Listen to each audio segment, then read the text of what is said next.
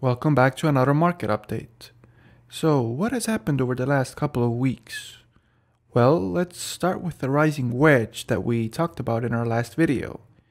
It wasn't surprising at all that Bitcoin would create this type of formation because, believe it or not, these types of fakeouts are extremely common and almost expected for both rising and falling wedges, at least when it comes to Bitcoin. Thus, it is logical to always expect a smaller move in the direction opposite to the actual breakout or breakdown move. Let me show you an example. And well, what do you know? I'm talking about the 2020 COVID crash again. We had a very similar rising wedge over here, and the move even had a smaller and a larger fake out before falling back down into the wedge.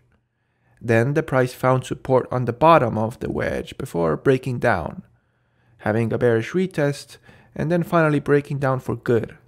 Pretty textbook if you ask me. Now, I don't want to be all doom and gloom, so let me give you the good news as well. First of all, we aren't even close to breaking down from the wedge yet, considering how wide this one is. As a matter of fact, we're still hovering around toward the top of the wedge and challenging the upper resistance area. As of right now, Bitcoin has found support on top of these previous tops. Therefore, nothing is for certain right now, and the bears need a lot more follow through. The real confirmation would be breaking down from this 59k area or so, and even better, having a bearish retest after that. Therefore, the bears are the ones who need to do the proving right now. However, there is also an area where the bulls need to do the proving. I'm talking about the descending resistance line that is about to intersect with a rising wedge. A smaller bearish rising wedge inside a larger bullish descending broadening wedge. Which one will reign supreme? Well, there's a way for both of them to have the more probable textbook outcomes. If the rising wedge breaks down first and Bitcoin ends up retesting the bottom broadening wedge support line one more time, then that would be the perfect point for Bitcoin to resume its bull run. However, remember, this is all just speculation and we're not even close to confirming this yet. Let's check in on our other power law indicators now, starting with the log log graph. I don't know if it's just me being a conspiracy nut, but the similarities between this and the 2019 to 2020 mini bubble are ridiculous. We're even building the same rising wedge on top of the blue power law trend deviation line. However, remember that lesson from the last video. Any familiar pattern can drastically change on a dime, especially if too many people are looking at the same thing. So the bulls just need to do a 180 and have a sustained rally over here instead of a failed bounce.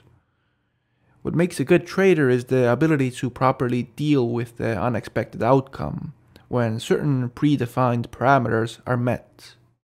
Now to the Bitcoin Power Law clock. Tick tock, the time is running out. It is 8.25, so only 35 minutes or around 2 months left until the projected beginning of the mania phase. Any decisive move before that would have to be fast and aggressive. Therefore, time is on the bull side unless the bears want to pull a fast one very soon. Now to the detrended oscillator relative to trends. We went from yellow back into muddy territory after the recent failed breakout. Are we going to touch green in this correction like many times before? Only time will tell. Light green begins at minus 30% deviation or so, while the steepest drops end at minus 60%. We're currently at minus 16%, but bear in mind that we're not guaranteed to touch green in bull markets. The only drops that have a 100% success rate of reaching green so far are the bear market bottoms following the tops. However, the COVID crash had an even larger deviation from the trend than the actual bottom, according to this indicator. Now, when it comes to the local Hurst exponent, you can clearly see the beginning of a bottoming process, which is a bullish signal. Is this the first in a series of confirmations, or just a fluke? Let's see. Now, let's get back to our wedge patterns. When we were here, many YouTubers were shouting how we have already broken out and why you need to FOMO in before it's too late. This leads us to the topic of today how do we even determine support and resistance lines? Now, to get the most objective line possible, you can use the tops and bottoms of either candle body closes or wicks. Sometimes you will even have wicks and closes lining up with each other in certain touch points. Using closes or wicks are both completely valid methods. However, I do prefer using wicks in most cases when possible, because it shows the full extent of the actual price action. An example of when this is not possible is when the wicks are chaotic, while the closes produce a clear line. An example of this would be the rising wedge from 2020 that I was showing you before. Now, what I do not like is when people draw a random line through wicks and closes to fit their personal bias. Any trend line produced like that becomes extremely subjective. Therefore, when drawing a trend line, choose either the wicks or closes and stick to that line. When it comes to the current formation, I've seen absolutely no indication of breaking out as of right now. Now, depending on how you draw your support and resistance lines over here, you could also have a line indicating that we have broken out. However, even breaking out is not the end all be all. We still need confirmation by having a bullish retest and follow through. In 2020, we did have a breakout, but the retest failed, so we ended up retesting the bottom of the wedge one more time.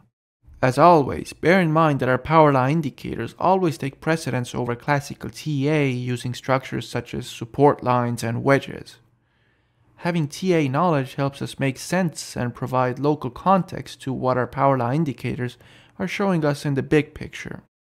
If you would like to support our work, consider subscribing to our powerful LuxAlgo indicators or show off your knowledge of Bitcoin's true behavior by visiting our merch store.